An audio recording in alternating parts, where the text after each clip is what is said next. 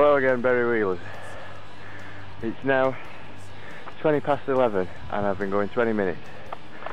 I was right down there where it's all white and now I'm halfway up. Put it into context with anything else, Blackstone Edge takes about 20 minutes and I've still got another half of the climb to go.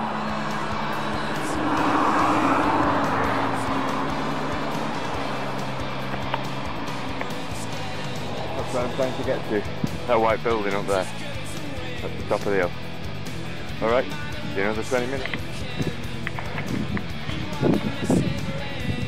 You can see now, we're very near the top, but the road is very steep. That's where I was when I did that last video, where that fan is there.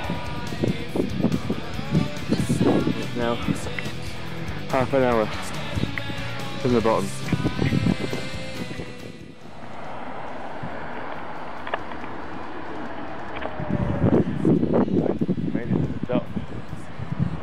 40 minutes though, and quite a lot of sweat, but it was worth it. Look at the view.